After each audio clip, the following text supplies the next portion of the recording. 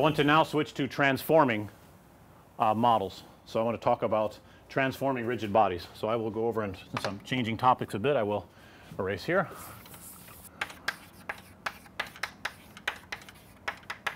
Transforming rigid bodies. Probably all of you have had some experience in performing transformations to bodies. You may have done translations and rotations before in other subjects that you've studied.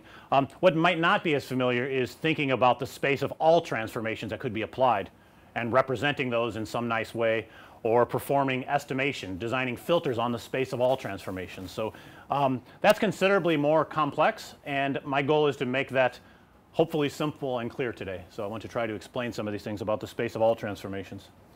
Um, in terms of why transform, I want to make some connection back to the last lecture that we have. So, why are we performing transformations? Well, it should be clear in the case of movable models. I just talked about that, but there's another case which I think connected very nicely to um, our lectures from last time, which is perception of stationarity. So, that's somewhat counterintuitive. So, I need to perform transformations because I need to unmove something that has moved right. And here's here, here's the idea. So, um, I see all of you today in the real world when I rotate my head you all move appropriately right in the way that I'm familiar with right. With respect to my head you're essentially counter rotating in the opposite direction right. So, if I design a virtual reality system suppose it's a cave like system or it's a surround sound audio system it's fixed to the world so that when I turn my head the stimulus is counter rotating appropriately. Now, if I mount the stimulus on my head, if I wear earphones or iPhones, I have a head mounted display let's say. Now, when I rotate my head the stimulus is unfortunately going to follow it. So, if I want to simulate stationarity, if I want to simulate the stimulus being fixed to the outside world, I have to counter rotate, right? Does that make sense? So, it confuses people a lot. So, you end up applying an inverse transformation to simulate stationarity. We talked about the vestibulo-ocular reflex going back and forth like this where that's another kind of perception of stationarity where your body is designed to have your eyes counter rotate with respect to your head. Now, we're designing a virtual reality system that's mounted. So, when you mount a stimulus to your body you have to compensate for the transformations that your body is performing. You have to undo those and take that into account and hopefully do it with very low latency so that your brain does not become confused right. It's, it becomes unfamiliar input then.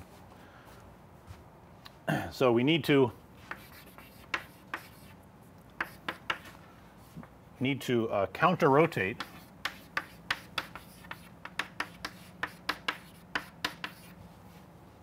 the mounted stimulus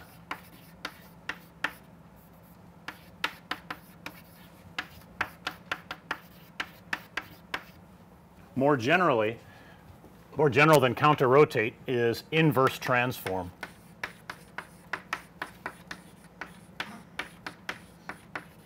And because we have to do that, this requires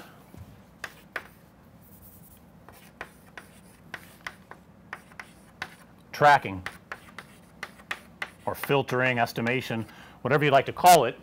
We need to use sensors and estimate the motion that has occurred of the human body and then when we figure out what that transformation was we apply the inverse of it to compensate to give you again this this great idea the perception of stationarity.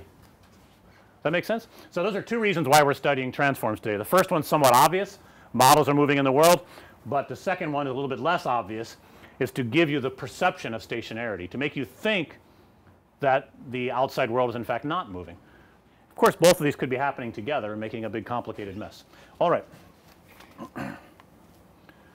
So, under transforming rigid bodies, let's imagine transforming each vertex of each triangle. Simple as that. Um, there's going to be three cases that I cover today. Um, three cases we have the easy case, which is translation. And in that case, I'm going to go over and I'm going to talk about the number of degrees of freedom. So the DOFs in 2D and in 3D. So for translation only, we have 2 degrees of freedom in 2D and we have 3 degrees of freedom in 3D. And this is really mathematically the easiest case to define, to understand, no problems really. Um, the harder case is going to be rotation, which in 2D is very easy. How many degrees of freedom do we have for 2D rotation? One. Just one. And in three dimensions we have three.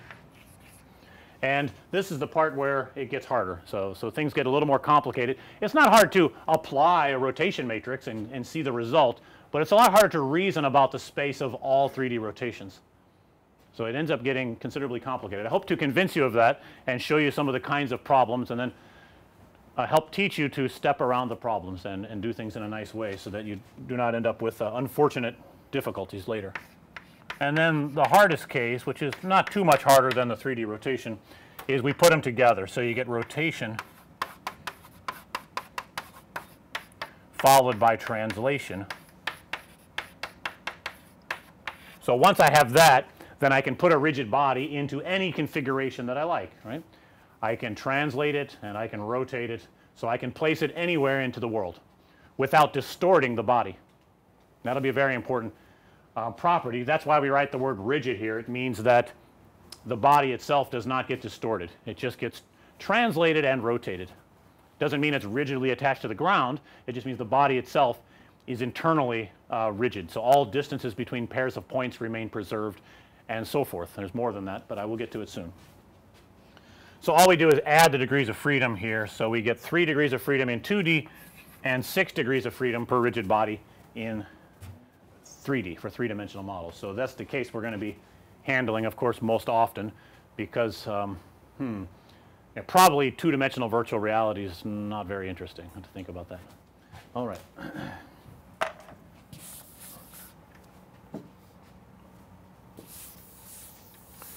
So let's start off with the very easy case just for completeness and consistency even though this one should be so simple that you might be a bit bored. So translation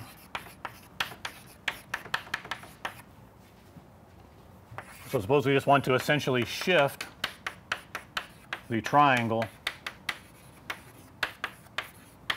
by some amount I'll write it as x sub t for translation, y sub t for translation, and z sub t for translation. So we want to shift it by some amount. So we just take the coordinates of the triangle.